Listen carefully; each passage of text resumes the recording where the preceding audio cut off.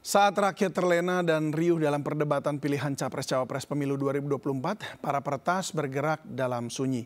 Tiba-tiba akun anonim bernama Jimbo memamerkan sekitar 250 juta data daftar pemilih tetap yang diduga milik KPU dan lembaga terkait pemilu yang berhasil dibobol dan dijual di situs Bridge Forums. Sejauh mana bahaya pembobolan data para pemilih dalam pemilu 2024 ini? Apa jaminan keamanan para panitia pesta demokrasi terhadap hak suara milik rakyat akibat aksi pertasan ini?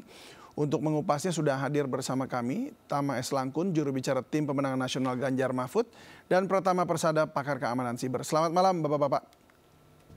Selamat malam.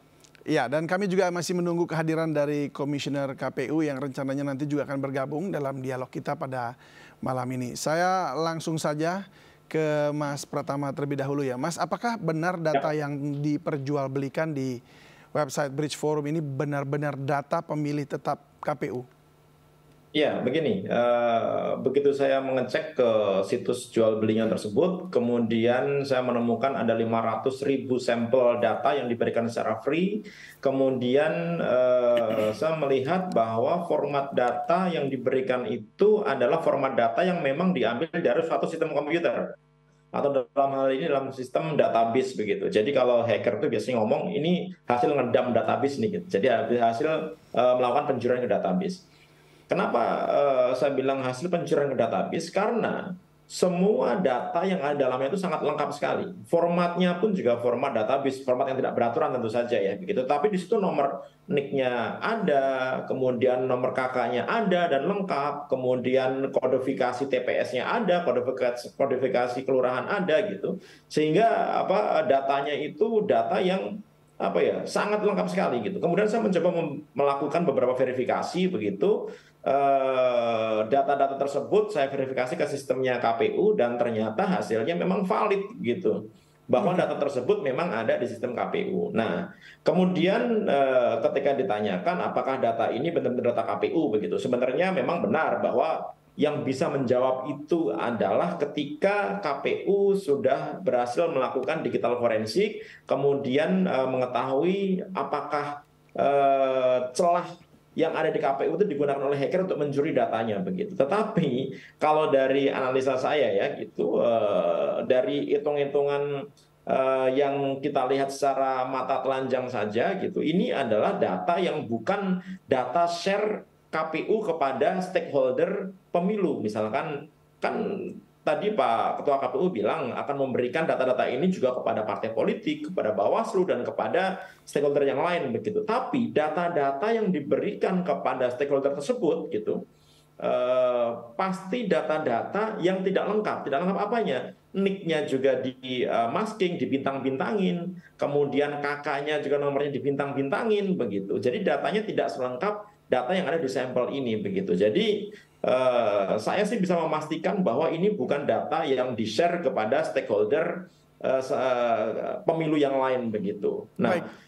kemudian ketika uh, KPU bilang bahwa sudah melakukan kerjasama dengan BSSN, sudah melakukan kerjasama dengan uh, Mabes Polri gitu, saya berkata Mabes Polri sudah melakukan kerjasama dengan uh, BIN begitu. Uh, memang itu langkah yang tepat, tetapi kita tahu selama ini ketika terjadi kebocoran data pribadi, hasilnya itu nggak pernah diumumkan ke publik. Gitu. Nah, kita kita berharap agar uh, hasil temuannya nanti benar-benar diumumkan. Kenapa? Karena data yang bocor ini adalah data masyarakat. Masyarakat berhak untuk mengetahui apa yang terjadi di KPU begitu. Sehingga apa? Perlu dilakukan langkah-langkah mitigasi. Apa yang harus dilakukan oleh masyarakat ketika datanya bocor? Apa yang uh, harus dilakukan oleh KPU gitu untuk memperkuat sistemnya begitu? Apa kerawanan-kerawanan nanti yang akan muncul? Nah, itu kan harus diinfokan, bukan hilang begitu saja gitu. Dan di Indonesia ini uh, saya pikir masalah kebocoran data pribadi dianggap remeh.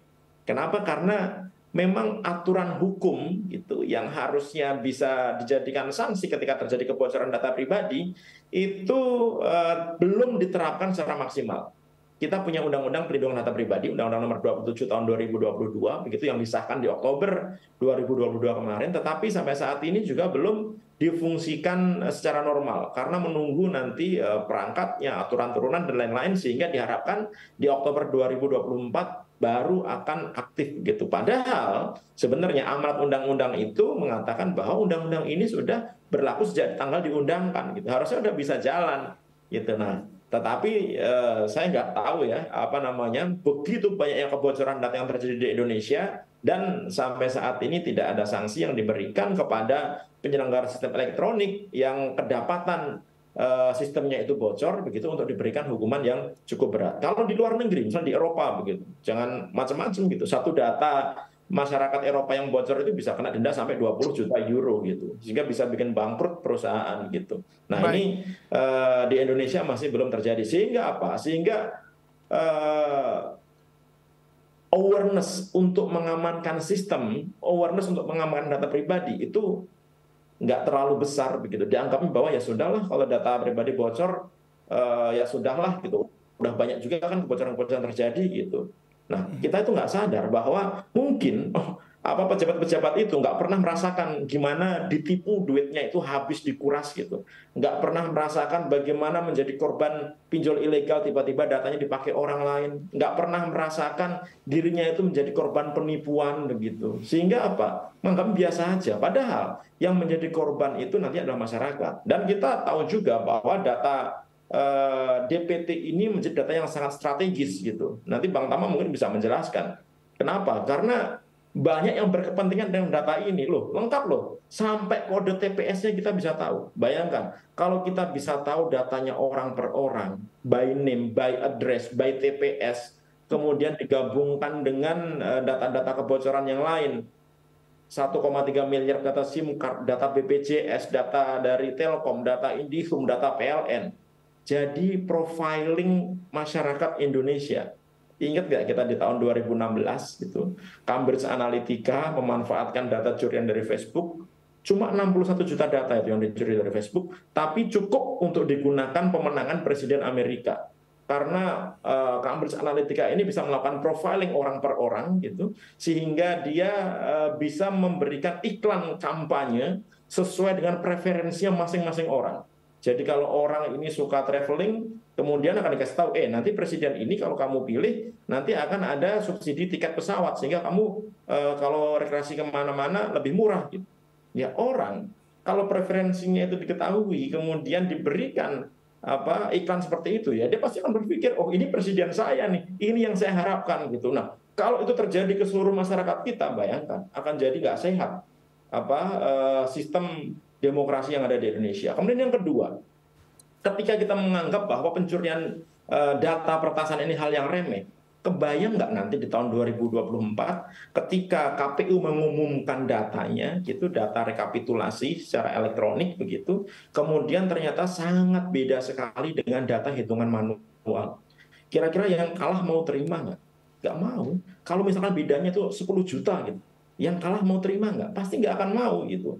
Padahal ini hasil hasil rekayasa si hacker yang dia berhasil masuk ke celah KPU karena KPU tidak memperkuat dirinya sehingga dia bisa merekayasa informasi yang ada dalam KPU gitu sehingga ketika dilihat oleh masyarakat datanya itu berbeda dengan data yang seharusnya. Waduh, sangat kebayang itu bagaimana uh, nanti ramenya gitu. Oleh karena itu jangan menganggap remeh bahwa ini adalah menurut saya eh, apa ya cambukan lah gitu untuk KPU karena di setiap event pemilu itu selalu terjadi eh, masalah seperti ini begitu sehingga KPU memang harus memperkuat sistemnya. Jangan jangan jangan berpikir bahwa ketika sudah bekerja sama dengan BSSN, sudah bekerja sama dengan BIN, sudah bekerja sama dengan uh, Cybercrime Mabes Polri, sudah bekerja sama dengan Kominfo, kemudian sistemnya aman gitu. Enggak kayak gitu penanggung jawab kebocoran data pribadi itu adalah penyelenggara sistem elektroniknya sendiri. Jadi KPU yang harus bertanggung jawab.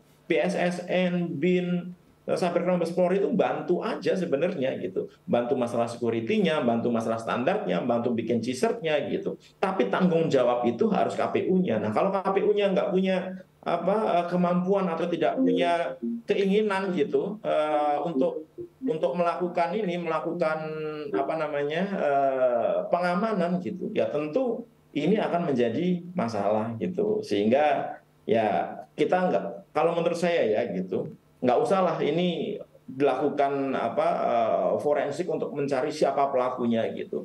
Tapi fokuslah bagaimana bisa mengetahui celah-celah keamanan di KPU, kemudian bagaimana cara menutupnya. Ini kan sudah pada bantu nih KPU nih gitu. Uh, gunakan semaksimal mungkin ya. untuk memperkuat KPU. Kita ini mau KPU aman kok, kita mau KPU ini kuat gitu. Supaya nggak ada modifikasi. Siapa pun nanti pemenangnya gitu, kan masyarakat kita nggak nggak ada masalah, nggak apa-apa gitu. Yang penting tidak ada kecurangan, tidak ada uh, apa namanya hal-hal uh, uh, yang digunakan orang lain gitu untuk merekayasa hasilnya, untuk merusak hasilnya yang sebenarnya itu adalah hak masyarakat untuk melihat hasil yang sebenarnya. Gitu menurut saya. Baik. Tampaknya sudah lengkap, mungkin apa dialognya kita tutup saja. Karena itu lengkap banget dari A sampai Z ya. Tapi sudah kita jelas, akan sudah jelas banget. Iya, sudah jelas sekali. Kita elaborasi satu-satu. Tapi kita pengen tahu sebagai Anda sebagai peserta uh, pemilu uh, Mas Tama bersama dengan TPN ya. Ganjar Mahfud melihat hal ini. Uh, di satu sisi mungkin kita uh, sedih karena ini kebocoran ya. Tapi uh, apakah ini termasuk sebagai sebuah peringatan untuk memperkuat KPU se sebelum pem, pencoblosan atau ini justru malah akan merugikan Anda sebagai uh, peserta pemilu? Iya, uh, Bung David, saya 100% setuju dengan apa yang disampaikan oleh Mas Pratama tadi. Hmm. Artinya memang uh, tinjauannya, pandangannya memang betul-betul dibutuhkan saat ini. Nah terkait dengan isu ini tentu ada tiga hal yang kemudian saya coba lihat yang paling pertama Bung David, kita yang kita perlu pastikan eh, data yang kemudian beredar itu dari mana dia mengaksesnya. Apakah betul itu dilakukan dengan menggunakan pertasan? Ataukah misalnya ada cara lain, katakanlah misalnya ada dari internal yang mungkin saja misalnya itu uh, uh, bocor kira-kira begitu. Jadi kan soal kebocoran ini ada banyak ya. Nah ini yang kemudian kita harus pastikan dulu. Kita harus lihat dulu secara seksama nah kemudian tadi kalau soal data kan sudah diverifikasi tadi eh, Mas Pratama sudah jelaskan eh, bahwa betul itu modelnya dan segala macam mengindikasikan ke sana. Nah ini hal pertama yang harus kita lihat. Kalau kemudian kita sudah tahu dari mana kebocorannya, bagaimana data itu bisa keluar, tentu saja kita sudah bisa mulai memikirkan soal mitigasi resikonya. Nah, buat kami peserta pemilu, tentu saja ada dua concern juga yang kita harus lihat. Yang paling pertama tentu tadi kita sudah bicara soal perlindungan data pribadi secara pidana itu sudah ada aturannya, memang soal pelaksanaannya ini yang masih minim.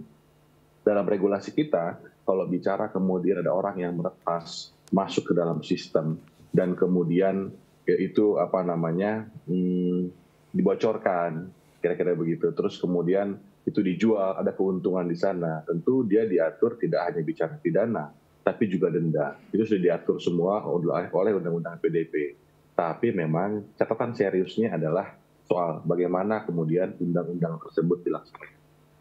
Nah, yang kemudian uh, selanjutnya selain soal perlindungan kepada pribadi turun kepada masyarakat adalah soal hasil yang kita khawatirkan kemudian kalau betul, kalau benar itu bisa diretas, itu kan berarti juga ada kesempatan untuk memanipulasi dalam merubah rekapitulasi dan lain sebagainya. Tentu saja ini yang kemudian menjadi ancaman. Jadi soal isu kebocoran ini mari sama-sama kita uh, dukung KPU untuk uh, menuntaskan uh, permasalahan yang terjadi, mengkonfirmasi banyak pihak, kemudian melakukan kerjasama dengan lembaga-lembaga lain. Yang paling penting adalah memastikan apakah itu bocor, betul bocor atau tidak. Nah ini yang kemudian semuanya kan masih dugaan-dugaan. Informasi semuanya kemudian uh, yang tersaji itu kan juga belum ada yang mengklarifikasi secara utuh begitu terkait dengan informasi yang sudah beredar di ruang publik. Nah ini yang kita kemudian secara bersama-sama Bung David harus kita uh, dukung ya, baik KPU, kemudian kepolisian, ada BSSN di sana, ada BIN juga, termasuk Kominfo. Jadi soal data yang solid tadi itu betul-betul bisa dijaga soal kerahasiaannya. Uh, baik, um, untuk konfirmasi lagi ke Mas Pratama bahwa ini ya. hasil uh, riset Anda bahwa ini diambil betul-betul dari database melalui pertasan ataukah ini memang ada orang dalam mengambil dari database kemudian dijual. Nah, begini, kalau kita berbicara masalah uh, bagaimana cara si hacker ngambilnya, ini banyak caranya. Hmm. Apa hmm. Uh, antara lain adalah menggunakan phishing gitu. Phishing itu apa? Yeah. Dia kan uh, kelemahan dari staf KPU gitu siapa pun stafnya asal dia punya komputer dia punya akses ke dalam komputer yang terhubung ke jaringan kemudian dia tidak sadar misalkan dia uh, terima email dari siapa yang dia buka ternyata isinya malware hmm. begitu oh. di, ternyata apa menginstal malware yang bisa menjadi remote control bagi hacker untuk apa mengambil alih sistemnya atau misalkan yeah. si hacker ini menggunakan metode untuk uh, melakukan injeksi terhadap sistem database misalkan SQL injection gitu yang uh -huh. dia bisa masuk ke dalam database-nya mencuri database-nya ngedam database-nya gitu kemudian uh, diambil nah untuk melakukan ini harusnya ya gitu harusnya kalau KPU memiliki sistem monitoring yang seperti kemarin disampaikan, memiliki firewall, memiliki IDS, memiliki banyak apa namanya uh, tingkatan keamanan, ya masa iya nggak kedetek gitu. Saya agak agak agak agak apa namanya ragu gitu. Masa Oke, iya, jadi yang anda anda lihat di sini, apakah memang ini karena nah. tidak terdeteksi itu, apa karena ada memang dua ada dua ada dua apa alasan gitu, apa ah. namanya dua sebab gitu. Kenapa tidak terdeteksi? Yang pertama sistemnya nggak jalan gitu. Jadi eh, KPU salah memilih teknologi gitu. Hmm. Atau yang kedua adminnya eh, nggak melakukan pengontrol secara uh, kontinu gitu sehingga ketika dilihat bahwa sistemnya ini baik-baik saja, tidak ada masalah, orang bisa ngecek DPT, orang bisa mengakses sistemnya KPU dianggapnya tidak apa-apa gitu. Padahal nggak kayak gitu hacker itu. Hmm. Dia kalau mau mencari data dia nggak akan merusak sistemnya gitu. Dia Jadi Anda diam. yakin hmm. bahwa ini memang hack, diam, diam, pekerjaan hacker ya? Pintu gitu. Kemudian dia bisa nyuri datanya, merubah ya. datanya, merusak datanya, kemudian dia keluar diam-diam. Nah, KPU, nah ini poin pentingnya nih digital forensik ini dibutuhkan KPU untuk mengecek selain celah dari mana si hackernya masuk, tetapi juga ada nggak backdoor yang ditinggalkan oleh si hacker. Karena kalau saya nih melakukan peretasan gitu, saya nggak mau udah susah-susah meretas KPU, kemudian saya keluar terus ngapain? Saya pasti naruh sesuatu gitu, hmm. yang membuat saya nanti anytime, kapan pun bisa masuk. saya bisa saya bisa membypass firewall, saya bisa membypass uh, eh, IDS intrusion detection system, saya bisa membypass intrusion prevention system gitu, yang saya taruh di sistem KPU, yang saya umpetin gitu, yang yang orang tidak akan melihat itu, yang antivirus tidak akan melihat itu, sehingga saya bisa menggunakan pintu itu saya untuk masuk. Nah, fungsi dari digital forensik antara lain adalah mencari apa namanya uh, senjata apa gitu yang digunakan untuk masuk. Hmm. Sehingga apa? Kalau itu ditemukan artinya ya sudah lakukan langkah-langkah penutupan. Tapi kalau itu nggak ditemukan, bahkan nggak tahu bahwa ada hacker yang masuk, wah ini bahaya ini. Gitu. Artinya apa? Tahu ada ancaman. Bahaya kalau kita nggak tahu ada ancaman. Gitu. Kenapa? Karena kita akan merasa tenang. Kita akan merasa fine-fine saja. Gitu. Nah kalau kita merasa tenang, merasa fine-fine saja, gitu, ya pasti nanti kita akan jadi korban lagi. Ini masih ada waktu dua bulanan ya, gitu dua bulan lebih. Gitu menurut saya KPU harus berusaha sangat eh, kuat gitu segera lakukan digital forensik, lah segera lakukan penguatan. Lu kita ini semuanya mau kok KPU ini kuat gitu. Kita kita nggak mau KPU ini diapa-apain gitu. Kan Baik. Kan Mas juga caleg kan nggak pengen ada apa namanya rekayasa, ada perang, ya. kan gitu semuanya pengen kayak gitu. Siapa pun nanti yang menang nggak apa-apa, ya. tapi kita berkontestasi secara apa namanya uh, baik gitu, secara apa bersih gitu, ya. sehingga hasilnya itu memang ya itu gitu. Nah kita nggak mau gara-gara KPU lemah ternyata baik, ada orang baik. masuk terus ngapa-ngapain datanya di dalamnya gitu. Baik, saya ke Mas Tama lagi. Mas Tama, uh, Anda ya. sebagai juga ada dalam uh, parpol uh, Perindo ya, uh, dan juga ada di TPN. Uh, kalau dari uh, apa namanya database yang mungkin Anda punya, apakah memang uh, Anda menggunakan data-data soft copy atau menerima pernah hmm. menerima soft copy memang dari uh, pihak KPU? Hmm. Ya, biasanya Bung David, eh, hmm. kalau kita bicara soal data kan semuanya sebetulnya bisa diakses ya. Ada data-data yang memang bisa diakses, artinya tersedia di KPU. Dan sejauh ini yang kita gunakan semuanya adalah data-data yang tersedia. Kalau kita mau ngitung misalnya yang di dapil kita, eh, bagaimana hmm. suara tahun 2019, uh, hampir semua website KPU menyiapkan hal itu. Jadi sebetulnya uh, Jadi apa akses namanya ya, tidak akses perlu yang diberikan kita, juga kemudian, ya. ya. Sudah Tapi ada juga dan perorangan ya, bukan akses gelondongan ya Mas ya. Oh enggak, ini ada ada dua akses itu. yang kita ada, bisa yang pertama di Depok kita ngambil satu ya. juta uh, DPT ya, yang Depok kan bukan saya rasa itu. enggak enggak seperti itu, tidak seperti itu. Nah biasanya kalau di kita berdasarkan pengalaman ya, yang pertama pasti menggunakan data yang tersedia. Kalau kita gunakan untuk kepentingan menganalisa tempat, menganalisa dapil dan lain sebagainya. Nah untuk inter, uh, untuk interaksi selama ini, uh, sebagian besar kita hanya mengupload dokumen-dokumen, data-data. Itu pun juga bukan data pemilih, tapi data-data yang kemudian memang uh, itu data-data dari caleg kita, ya misalnya seperti daftar caleg sementara, daftar dan lain sebagainya itu yang kita upload ke ke Sipol dan lain sebagainya. Jadi itu kita bicara soal kita yang upload data. Tapi kalau kemudian datanya orang per orang dan lain sebagainya itu tidak tidak ada. Kita tidak bisa oh, bahkan tidak ada karena ya? itu bukan data yang ya karena itu kan informasi yang dikecualikan ya. Kalau kita bicara hmm. soal regulasi, data pribadi itu adalah data yang dikecualikan. Informasi yang kemudian dia tidak bisa dibuka eh, serta merta maupun hmm. secara berkala karena ada orang per orang ini yang kemudian Uh, sebetulnya nggak bisa kita akses. Jadi gitu saya ya. hanya mau konfirmasi bahwa apa yang disampaikan tadi oleh Mas Pratama itu betul uh, adanya ya bahwa uh, memang uh, parpol sendiri hanya bisa menggunakan data hmm. yang memang disajikan dengan ada masking tadi nomor-nomor yang dibintang-bintangin seperti itu ya. Betul. Jadi betul okay. sekali betul. Dan kalaupun sebagian besar hanya data-data agregat, misalnya jumlah hmm. kita diundang rapat misalnya Eh, daerah ini sudah berapa yang terpenuhi itu hanya sebenarnya bicara soal agregat dan jumlah, tapi tidak spesifik data per data. Karena itu kan tadi lagi-lagi ya informasi yang dikecualikan yang semua orang tidak bisa mengakses dengan sembarangan begitu. Baik, baik uh, Mas Pratama dan Mas Tama kita akan berbincang lagi lebih lanjut juga mengenai uh, arsitektur pengamanan yang seperti apa yang seharusnya juga dimiliki oleh KPU. Tapi usai jeda berikut ini tetaplah bersama kami di Sindo Prime.